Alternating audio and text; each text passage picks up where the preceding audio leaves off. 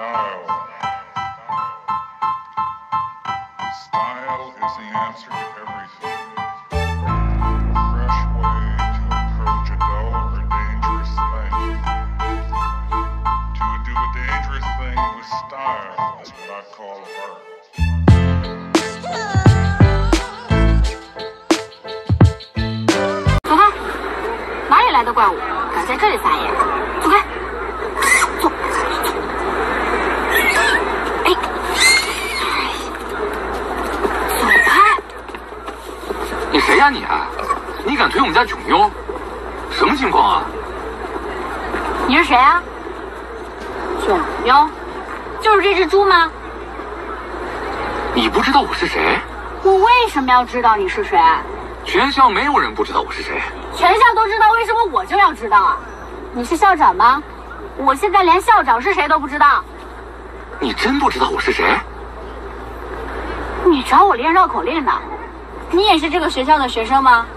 那你为什么要带着猪来学校？这里是校园，不是你家的花园。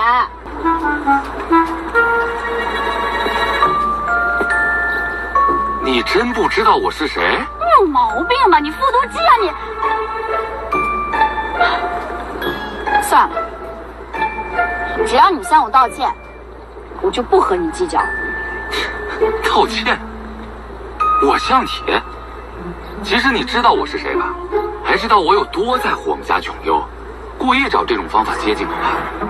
看你这样子，是新生吧？说吧，从哪儿搞到我的资料的？贴吧还是微博？你到底在胡说什么呀？什么乱七八糟的？是你的猪先撞了人，难道你不应该道歉吗？小学妹，既然查了我的资料，就应该最清楚我最讨厌别人在我们家囧牛面前说他是猪。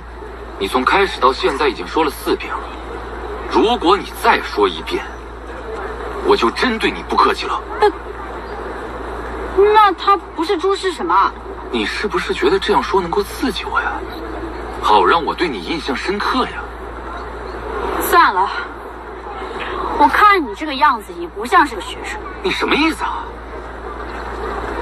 你的意思是，是说我老？站长，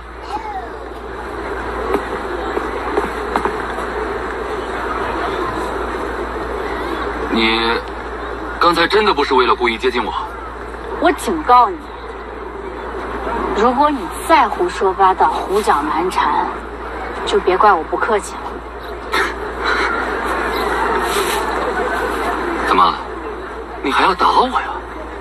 来，往这儿打。你打一个试试看啊！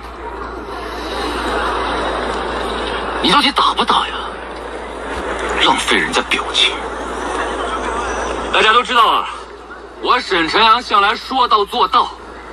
如果他今天真的敢打我，我就让他做我这学期第一个女朋友。小学妹。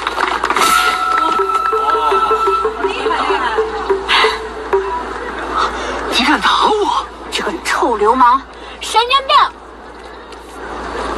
流血了！臭流氓，我知道了，你就是故意带着你的猪在这里等着，想欺负单独来报道的女生吧？今天遇到我，算你倒霉了。以后如果再让我看见你欺负人，我见一次打一次。